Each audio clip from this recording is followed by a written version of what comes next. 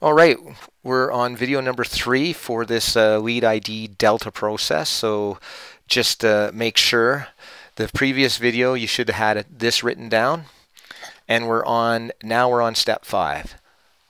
So if uh, this doesn't make sense to you then I wouldn't even bother watching this because this is um, a video in part of a series with uh, two other previous videos. Okay, step five is label T4 and T9 basically by rotating the process 120 degrees. Rotating process 120 degrees. So let's look at what we have labeled and what we have drawing. Um, I'm going to do a new drawing just to keep it clean. So bear with me. Come on, red pen. There we go, close enough.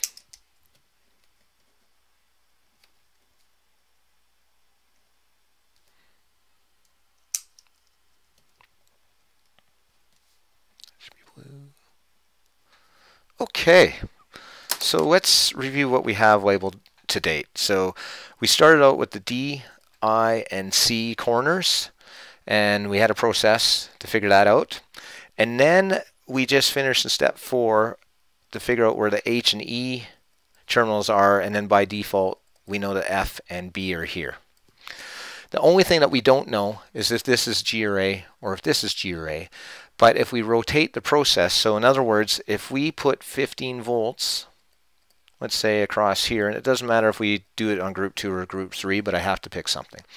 So if I do this, it's going to be the same physics. So think about what I said in the last video here.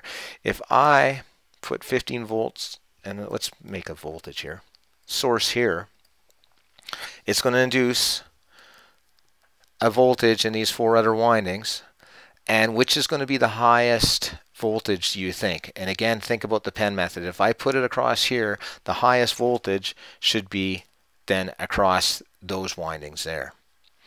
Now, we've already done this one, so we don't really need to do that. We're just looking at this one. So let's just do our little horizontal diagram of the windings. So the winding in, in question here is the D center one, and that had A and G on each side. So I'm applying voltage to B and H, and now I'm measuring um, these terminals. So A to D I measured 2.1, and then D to G, I measured 5.7. And hopefully you guys are ahead of me on this and you already know what terminal to label this.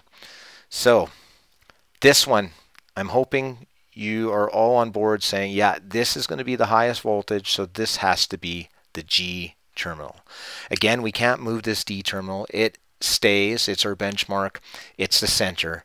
All we are looking for is this G or A and it can't be A because that would make this 2.1 volts and uh, we're looking for the highest voltage across here because we had the source on this side.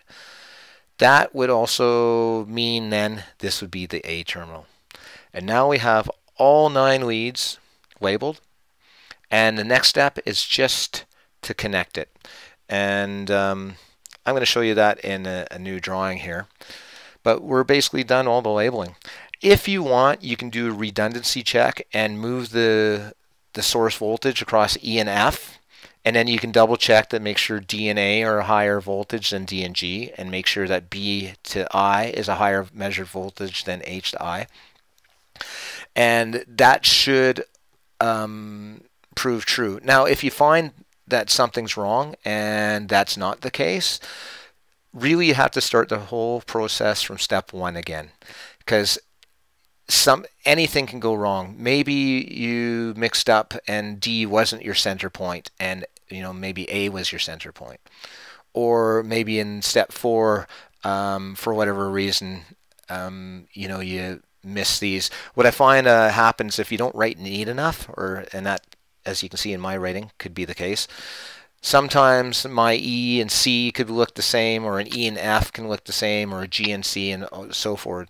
When I'm looking at students, um, a lot of times when they have problems, there's going to be two of the same letter. you know, I'll see an H here and an H here, and automatically I know that there's something wrong. So keep that in mind when you're doing this process. Okay, so I'm just going to copy this information over to another paper. And I think you guys are pretty solid with all the coloring and the phases, so I'm going to just make this really quick and just redraw it. Okay.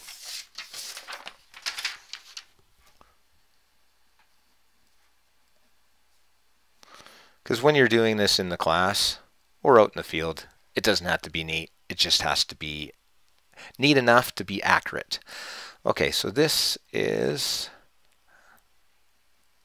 all the terminals that we came up for from all the processes that we've just did.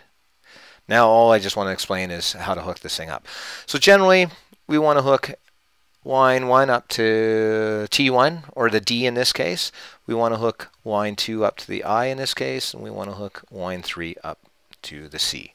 Now, does it really matter if I hook line up to I, or line 1 up to I, and line 2 up to D, or something like that? No. It, it'll still run, you won't blow the motor up. It might run in the opposite direction, but that's, a, um, that's another class talking about that. What we do want to do, though, is um, we have access to 240 volts. Now, this motor that I'm looking at, and again, this is all based upon a, a real motor. It's not just hypothetical. Um, I, I didn't make up any of these numbers. I just wrote down what I measured from a real motor.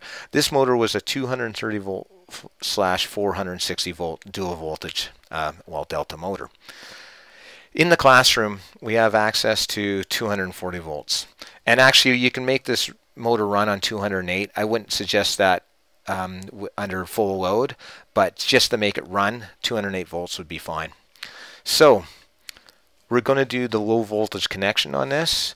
And here's how you do the low voltage connection. D is going to connect to B and E. I is going to connect to A and E. And did I say E last time? That I meant F. And then C is going to connect to G and H. So that's how you're going to make those connections. And then D, uh, um, as I said earlier, is going to connect to L1. I is going to connect to L2, and C is going to connect to L3. You make all that connections, you turn on the motor, and if you did everything right, it won't growl, it won't short circuit, it'll just purr like it was meant to run. And that is the end of the three-phase, uh, nine-lead delta lead ID process. Okay, now we still have Y to do, and we're done with this process. See you next time.